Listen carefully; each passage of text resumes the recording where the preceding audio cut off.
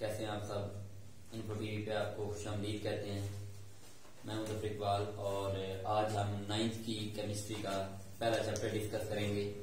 तो पहला चैप्टर है फंडामेंटल ऑफ़ केमिस्ट्री तो पहले चैप्टर के बारे में ब्रीफ डिस्कशन होगी। पेपर के पॉइंट ऑफ़ व्यू से पहला चैप्टर कितना इम्पोर्टेंट है। इसमें कितने शॉर्ट क्वेश्चन आते हैं, कितने लॉन्ग क्वेश्चन आते हैं, कितने एमसीक्यूज हैं। और इसमें कितने स्टैंडर्ड शॉर्ट क्वेश्चन है, कितने पेपर में फ्रिक्वेंटली रिपीटिंग शॉर्ट क्वेश्चन है, या कितने पॉसिबल शॉर्ट क्वेश्चन है। तो पूरे चैप्टर की इस वीडियो में डिस्कशन होगी। तो सबसे पहले बात करते हैं कि इस चैप्टर में पेपर में कितने क्वेश्चन आते हैं। तो शॉर्ट क्वेश्चन जो इस चैप्टर में से आते हैं, वो हैं जी तीन। दो भी सिलेक्ट हो सकते हैं, अमूमन तीन क्वेश्चन सिलेक्ट होते हैं। और जो लॉन्ग क्वेश्चन है, वो एक लॉन्ग क्वेश्चन आता है इस पेपर में, चार नंबर का। दो या तीन शॉर्ट क्वेश्चन आते हैं तो इस तरह इस पेपर में जो एमसीक्यूज है, वो एक या दो आते हैं। यानी 10 से 12 नंबर का पेपर इस चैप्टर में से आता है। तो ये चैप्टर इस हिसाब से बहुत इंपॉर्टेंट है। आप इस चैप्टर को स्किप नहीं कर सकते। अगर आप उन स्टूडेंट्स में से हैं जो 60 बाई 60 अटेन करने के काबिल हैं तो उन्हें इस वीडियो को पूरा देखना चाहिए और जो मैं बताऊँगा, जो क्वेश्चन उन्हें फॉलो करें, उनको याद कर लें तो इनशाला पेपर में उसके बाद कोई भी क्वेश्चन नहीं आएगा। फिर मैं जो आज क्वेश्चन बताऊँगा, वो सारे के सारे क्वेश्चन याद कर लें, वही क्वेश्चन पेपर में रिपीट होंगे, वही क्वेश्चन पेपर में आएँगे। तो स्मार्ट सिलेबस में जो ब्रांचेज हैं, उन वो नहीं है। तो आप कोशिश करें ब्रांचेज याद कर लें। अगर आप ब्रिलियंट स्टूडेंट्स में से हैं तो ब्रांचेज डेफिनेशन दिए हैं, या किसी ब्रांच का स्कोप वगैरह वो थोड़ा बहुत पढ़ लें तो उनको स्किप ना करें, क्योंकि उनमें से कई आगे फिर रिपीट होती हैं।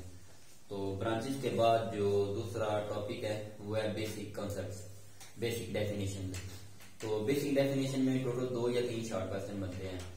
तो इसमें जो ज़्यादा इंपॉर्टेंट है, वो फ़िज़िकल प्रॉपर्टीज़ और केमिकल प्रॉपर्टीज़ ये दो जो शॉर्ट क्वेश्चन है, ये सही याद कर रहे हैं। बाकी मैटर की डेफिनेशन है मिक्सचर है सब्सटेंस है मिक्सचर की टाइप्स है होमोजीनियस हेट्रोजीनियस है। जो मिक्सचर है वो इतना इंपॉर्टेंट नहीं है क्योंकि आगे मिक्सचर जो है दो तीन पेज बस बकायदा टॉपिक आएगा। तो इसलिए इस जो बेसिक डेफिनेशन है, इनमें सिर्फ़ दो डेफिनेशन है जो पेपर के पॉइंट ऑफ़ व्यू से ज़्यादा इंपॉर्टेंट है। फ़िज़िकल प्रॉपर्टीज़ तभी खसूसियात और केमिकल प्रॉपर्टीज़ किमी खसूसियात उसके बाद जो नेक्स्ट टॉपिक है वो है एलिमेंट तो एलिमेंट जो है पेपर के पॉइंट ऑफ़ व्यू से शॉर्ट क्वेश्चन ज़्यादा एलिमेंट में से आते हैं। वैसे लॉन्ग क्वेश्चन भी आ सकते हैं इस दफ़ा क्योंकि इसके जो स्मार्ट सिलेबस के अकॉर्डिंग कम ही क्वेश्चन बचते हैं जो as a long question select हो सकते हैं। बहुत कम टॉपिक हैं जिनमें से लॉन्ग क्वेश्चन बन सकता है। तो इसलिए इस दफ़ा एलिमेंट को लॉन्ग क्वेश्चन के तौर पर भी आप लोग प्रिपेयर कीजिएगा। तो एलिमेंट में जो शॉर्ट क्वेश्चन बनते हैं वो तो सीधा सीधा एक डेफिनेशन है कि एलिमेंट्स है एलिमेंट्स की मॉडल डेफिनेशन लिखें। तो डेफिनेशन लिख के आप लोगों को कम से कम दो एग्ज़ाम्पल देने हैं, ताकि नंबर ना कटें। उसके बाद एक टेबल दिया गया है, जिसमें वो हमारी एटमोसफियर में जो एलिमेंट ज़्यादा मकदार में है, या अर्थ क्रस्ट में, या ओशन में, उनके बारे में बताता है। वो एमसीक्यूज के हवाले से वो टेबल बहुत इंपॉर्टेंट है। टेबल के नीचे दो शॉर्ट क्वेश्चन बाँध सकते हैं। एक एलिमेंट की क्लासिफिकेशन यानी वो सॉलिड लिक्विड और गैस के हवाले से, या वो मेटलाइड मेटल नॉन मेटल के हवाले से ये शॉर्ट क्वेश्चन बन सकता है। टेबल के नीचे जो चार पाँच लाइनों का पैराग्राफ इनमें एक शॉर्ट क्वेश्चन आता है जो पेपर में आ चुका है कि which elements present in liquid state तो दो ही एलिमेंट्स हैं जो कि लिक्विड स्टेट में पाए जाते हैं, जिसमें एक ब्रोमीन है, दूसरा मर्करी है। तो ये एक इंपॉर्टेंट शॉर्ट क्वेश्चन है। अगले पेज पे जब आप आएँगे तो टॉप पे एक टेबल दिया हुआ है, जिसमें ह्यूमन बॉडी में या ऑर्गेनिज्म में जो एलिमेंट्स हैं, जो ज़्यादा मिकदार में पाए जाते हैं।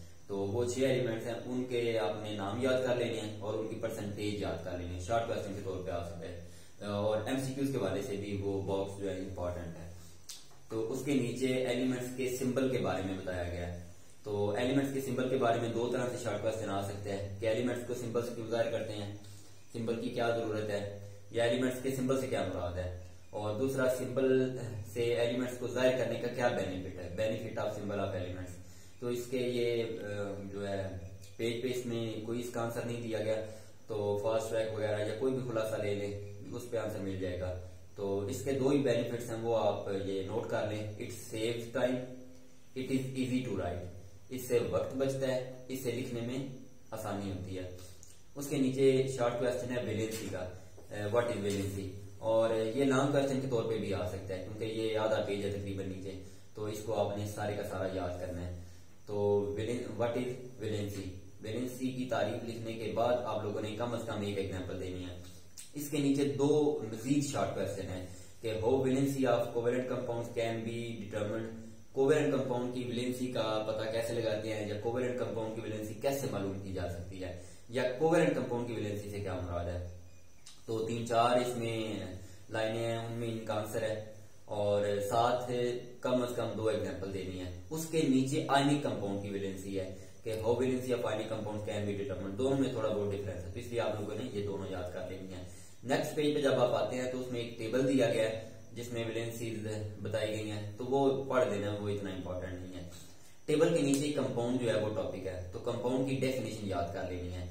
अगर बेटा कंपाउंड शॉर्ट क्वेश्चन आता है तो डेफिनेशन लिख के साथ में दो तीन एग्ज़ाम्पल दे देनी है इंशाल्लाह पूरे नंबर मिलेंगे। और अगर ये लॉन्ग क्वेश्चन आ जाता है तो ये सारे का सारा टॉपिक याद ना भी हो तो परेशान होने वाली बात नहीं है, क्योंकि वेरी नेक्स्ट पेज पे कंपाउंड और मिक्सचर का डिफरेंस दिया गया है।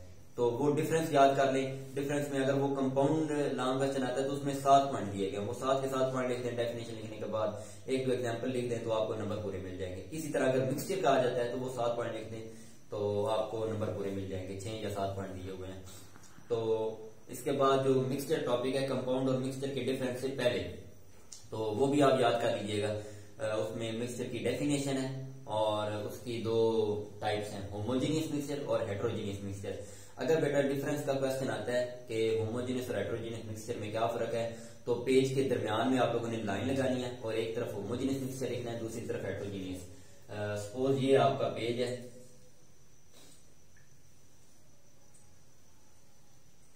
अमूमन बच्चे क्या करते हैं? अगर इस तरह का कोई भी क्वेश्चन आ जाता है तो पहले वो लिख लेते हैं होमोजीनियस और नीचे हेड्रो लिख देते हैं। तो इस तरह उसका प्रॉपर आंसर नहीं होता। आप लोगों ने बेटा करना क्या है? ये पेज है सपोज़ आपका लाइन लगानी है। एक तरफ़ होमोजीनियस और दूसरी तरफ़ हेट्रोजीनियस और पहले डेफिनेशन लिखनी है कम से कम दो पॉइंट लिखने आपने। पहला पॉइंट जो डेफिनेशन का होगा उसके बाद दूसरा पॉइंट आप लोगों ने लिख लेना उसकी एग्ज़ाम्पल का। तो इसके अलावा इसी टॉपिक में कंपाउंड और मिक्सर के टॉपिक में मजीद एक दो शॉर्ट क्वेश्चन जो एक्सरसाइज में भी हैं वो बन सकते हैं जो पेपर में कम आते हैं लेकिन आ सकते हैं। ये मैं क्वेश्चन उन बच्चों के, के लिए बता रहा हूँ जो साठ नंबर लेने वाले हैं कि जो वाटर है वो कंपाउंड है और जो हवा है एयर है वो मिक्सचर है। इसकी क्या रीजन है? इसी तरह जो सोल्यूशन है, वो मिक्सचर है। जैसे लेमन वाटर कह लें या साल्ट इन वाटर कह लें, वो एक सोल्यूशन है। और वाटर खाली जो है, वो एक कंपाउंड है। इसकी क्या रीजन है? तो ये आप लोगों को पता होना चाहिए। वो कंपाउंड और मिक्सचर में जो पाँच छह पॉइंट है, अगर आप लोगों को वो याद हो जाए तो ये ऑटोमेटिकली ये क्वेश्चन आपका सॉल्व हो जाएगा। और उसके बाद अटोमिक नंबर और मास नंबर है। ये शॉर्ट क्वेश्चन है। इनको ज़्यादा लॉन्ग क्वेश्चन के हवाले से देखने की ज़रूरत नहीं है। जस्ट आपको डेफिनेशन आनी चाहिए। डेफिनेशन के बाद एक या दो एग्ज़ाम्पल आनी चाहिए। हाँ अटोमिक नंबर को किससे ज़ाहिर करते हैं, वो पता होना चाहिए। मास नंबर को किससे ज़ाहिर करते हैं, वो पता होना चाहिए। और इसी के रिलेटेड एक टेबल दिया गया है। उसमें मुख्तलिफ़ एलिमेंट्स के अटोमिक नंबर दिए गए और मास नंबर भी दिए गए यानी उसमें नंबर ऑफ़ प्रोटॉन और नंबर ऑफ़ न्यूट्रॉन का ज़िक्र किया गया है। तो वो आप लोगों ने एक नज़र देख लेने अगर उसमें से कोई एमसीक्यूज में आ जाए तो आपका कुछ रह ना जाए। उसके बाद रिलेटिव अटामिक मास है तो रिलेटिव एटॉमिक मास की डेफिनेशन लिखनी है।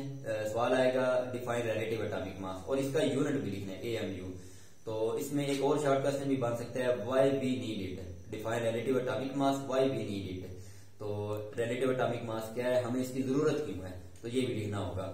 और बेटा ये लॉन्ग क्वेश्चन भी बन सकता है। रिलेटिव एटॉमिक मास अगर ये लॉन्ग क्वेश्चन आ जाए तो आप लोगों ने बकायदा डेफिनेशन लिखनी है, हमें इसकी ज़रूरत क्यों है, इसका यूनिट लिखना है, और मास ऑफ़ प्रोटॉन इलेक्ट्रॉन और न्यूट्रॉन ये भी बताना होगा। ये सारा लिखेंगे तो इंशाल्लाह आपको पूरे नंबर मिल जाएँगे।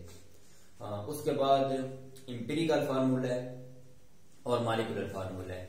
ये जो एम्पेरिकल फार्मूला है, इसको कोशिश कीजिएगा सारा याद कर ले, क्योंकि ये इसमें काफ़ी कुछ बताया हो सकता है, ये लॉन्ग क्वेश्चन के तौर पर सिलेक्ट हो जाए।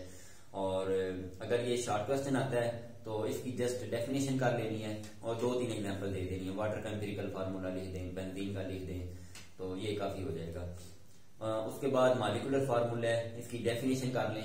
डेफिनेशन के बाद एग्ज़ाम्पल लिख दें तो इस इतने से काम चल जाएगा। उसके बाद टाइप्स ऑफ़ मालिक्यूल है। जो टाइप्स ऑफ़ मालिक्यूल है ये एक लॉन्ग क्वेश्चन भी है बड़े इंपॉर्टेंट लॉन्ग क्वेश्चन है। लेकिन इसमें से कई शॉर्ट क्वेश्चन आते हैं जैसे डिफाइन मालिक्यूल उसकी टाइप्स आ सकती है। मोनोअटामिक डाइएटामिक ट्राइएटामिक पोलिएटामिक होमोटामिक हेट्रोटामिक तो ये सारे के सारे नाम शॉर्ट क्वेश्चन आ सकते हैं। और एज होल अगर ये लॉन्ग क्वेश्चन आ जाए तो ये सारे का सारा लिख दें। कोशिश कीजिएगा, अगर ये लॉन्ग क्वेश्चन आता है तो बाकायदा हेडिंग्स बना के लिखें। मोनोटामिक मालिक्यूल फिर उसकी एग्ज़ाम्पल डाइएटामिक उसकी एग्जांपल होमोटामिक हेट्रोटामिक पोलिएटामिक ये सारी जो हेडिंग्स बना के लिखेंगे तो इनशाला नंबर नहीं कटेंगे। और इनकी एग्जाम्पल्स वो ज़रूर लिखनी है। तो इसके अलावा मालिकुलर मास है और फार्मूला मास है मोल है अवोगैड्रो नंबर है, ये सारे टॉपिक एक दूसरे से मिलते जुलते हैं। तो इन सब की डेफिनेशन आपको आनी चाहिए।